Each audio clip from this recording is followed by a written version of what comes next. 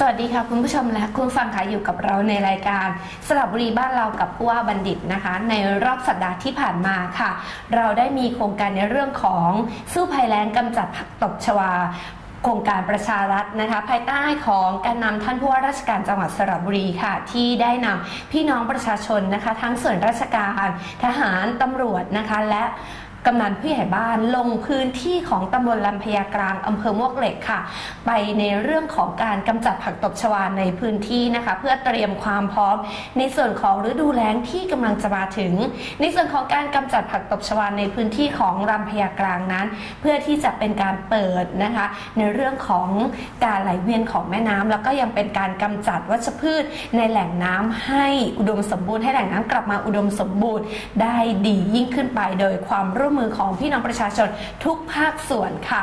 ตามนโยบายของทางรัฐบาลที่ได้ดำเนินการมาอย่างต่อเนื่อง ถือว่าปีนี้เป็นปีที่ 2 แล้วนะคะ คุณผู้ชมและคุณผู้ฟังคะต้องพูดถึงในเรื่องของการกำจัดน้ำกำจัดผักตบชวาที่ผ่านมาแล้วเราต้องมาพูดคุยกันในเรื่องของการบริหารจัดการน้ำในช่วงของฤดูแล้งที่จะมาถึงนี้ในพื้นที่ของจังหวัดสระบุรีของเรากันค่ะ และช่วงนี้นะคะ คุณผู้ชมและคุณผู้ฟังคะเราได้รับเกียรติจากท่านมาโนดวัฒนโชตค่ะ ผู้อำนวยการโครงการชลประทานจังหวัดสระบุรีมาพูดคุยกับเราในรายการวันนี้ค่ะ สวัสดีค่ะท่านคะ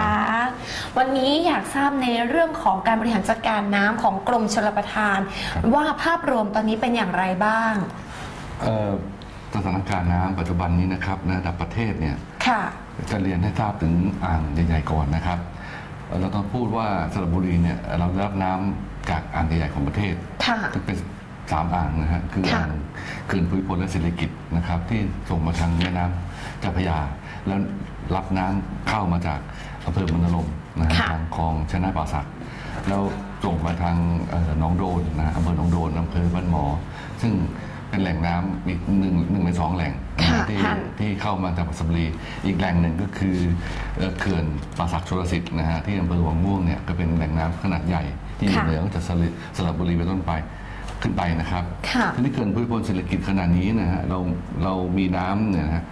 ที่เก็บกักจริงๆที่ใช้งานได้เนี่ยในภาพรวมๆก็ประมาณ 36เปอร์เซ็นต์ค่ะซึ่งท่านก็ปีกับปีที่มากกว่าปีที่แล้ว แต่ก็มากกว่าถือถือว่ายังไม่มากนักอืนะฮะมอันที่สองก็คือเขื่อนป่าสักเอ่อชลสิทธิ์เนี่ยเรามีค่ะน้ำเก็บกักอยู่ระดับ 60เปอร์เซ็นต์ค่ะซึ่ท่างนดีกว่าปีที่แล้วมากนะฮะอืมแต่ขณะเดียวกันเนี่ยเพื่อเพื่อความมั่นคงทางด้านเอ่อน้ำในประเทศนี้นะฮะ ทางหน่วยเหนือขึ้นไปเนี่ยก็มีนโยบายว่าน้ำที่มีอยู่เนี่ยเอ่อจะเก็บกักไว้สำหรับเพื่ออุปโภคบริโภคและการรักษาระบบนิเวศเป็นหลักนะครับค่ะซึ่งในบางบางครั้งก็มีเป้าหมายในการที่จะทำนาปลังแต่ก็ไม่มากเหมือนปีที่แล้วแล้วก็เราจำกัดพื้นที่อยู่อืมนะครับค่ะท่านครับเอ่อภาพรวมจะเป็นอย่างนี้ฮะ อืมค่ะ โอเและในส่วนของพื้นที่จังหวัดสระบุรีของเราล่ะคะท่านการมีการบริหารจัดการน้ำหรือว่าการระบายน้ำปล่อยตามคลองสาขาย่อยต่างๆ เนี้ยเป็นอย่างไรบ้าง ครับทีนี้เอ่อ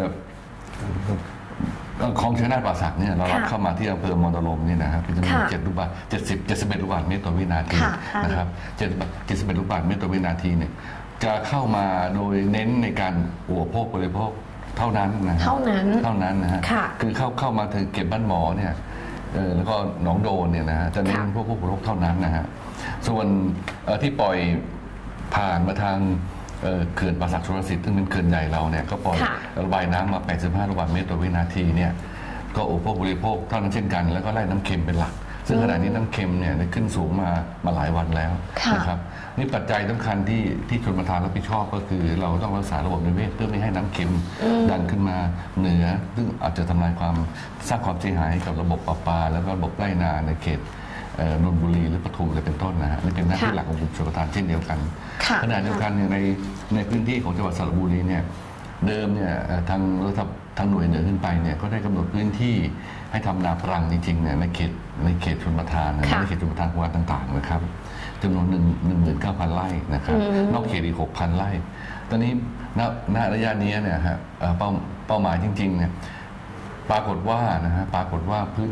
พื้นที่ทำนาปรังนะฮะที่ค่ะที่ปรากฏตัวเลขล่าสุดเนี่ยก็เกือบหนึ่งแสนไร่แล้วโอ้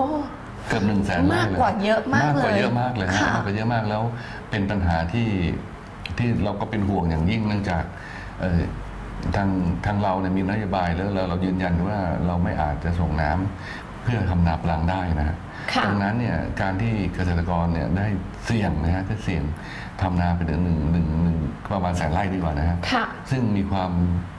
เป็นไปได้ว่าจะได้ได้รับความเสียหายมากและเป็นห่วงอย่างยิ่งนะฮะแต่ค่ะแต่เกษตรกรก็กล้าที่จะเสี่ยงดำเนินดำเนินการไปตามนั้นนะฮะค่ะเราเราเป็นห่วงนะครับ ค่ะคราวนี้เราอยากจะมีในเรื่องของการแจ้งเตือนพี่น้องประชาชนเกษตรกรอย่างไรบ้างคะท่านในเรื่องของการทำนา เพราะว่าอย่างที่ท่านบอกมาว่า ตอนนี้พี่น้องเกษตรกรเนี่ยทำนาเยอะมาก เดิมที่ที่เราเอ่อเก็บต้นเอ่อฤดูนะฮะประมาณค่ะเดือนเอ่อพฤศจิกาธันวาเนี่ยเราก็ได้แจ้งว่า เรามีเป้าหมายที่จะให้เกษตรกรเนี่ยทำอยู่ประมาณหมื่นเก้านะฮะค่ะค่ะแล้วทางหน่วยหน่วยรับผิดชอบพื้นที่ท่านผอส่งน้ำต่างๆเขารับค่ะทราบนโยบายนี้เป็นอย่างดีอืมนะครับแต่เนื่องจากว่าผมก็เข้าใจเกษตรกรนะฮะจริงๆอะค่ะ เพราะว่าเขาอะเกษตรกรต่างๆพวกเนี้ยก็อาชีพเขาก็คือการทำนานะฮะ ค่ะ ถ้าถ้าไม่ทำนาก็อาจจะไม่สันทัดในการทำอย่างอื่นนะครับ ก็เสี่ยงทำนาไปนะครับค่ะ ซึ่งการ ทั้งที่ทางชลประทานเองก็ได้ประชาสัมพันธ์โดยตลอดว่าปีนี้เราไม่สามารถที่จะขยายพื้นที่ให้มากกว่าหมื่นเก้าได้นะครับ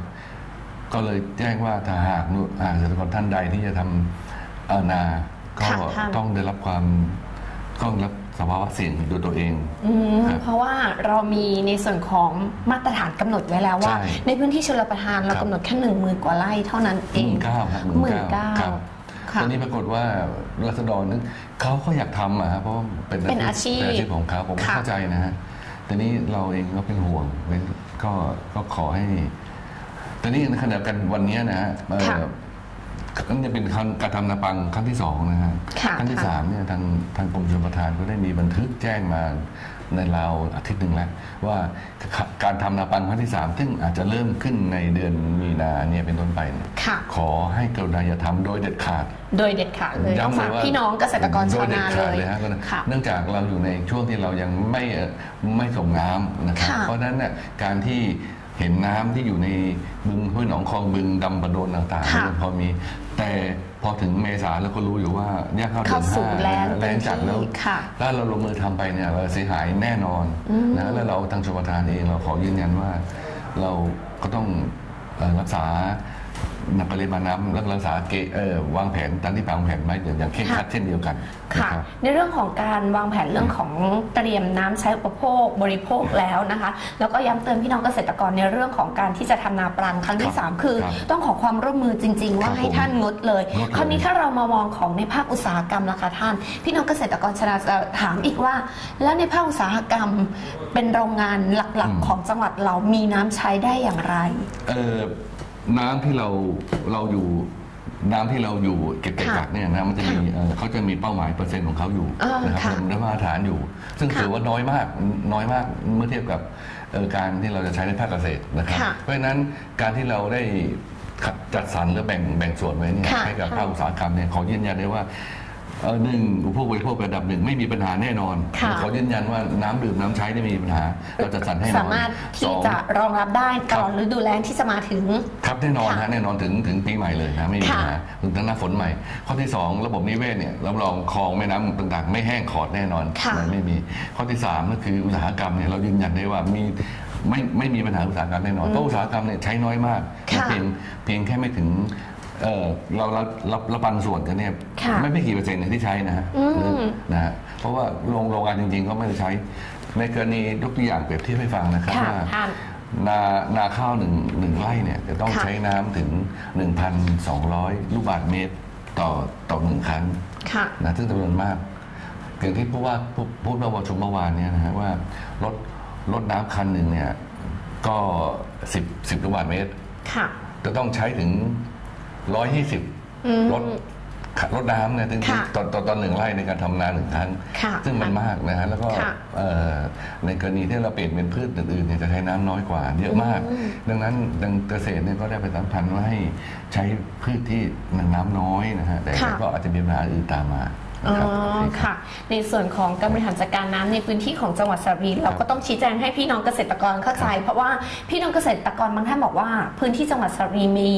โรงงานอุตสาหกรรมขนาดใหญ่หลายที่ครับแต่เราได้ชี้แจงไปแล้วว่า ครับในส่วนของภาคอุตสาหกรรมนั้นมีครับเปอร์เซ็นต์ที่ใช้น้ำน้อยน้อยมาก น้อยฮะ อย่างนี้เรามีอะไรที่อยากจะฝากให้กับพี่น้องประชาชนไหมคะว่า ถ้าท่านจะทำนาหรือว่าอะไรเงี้ยการสร้างบ่อน้ำของตนเองเนี้ยเป็นสิ่งจำเป็นอย่างไรคะท่าน อืม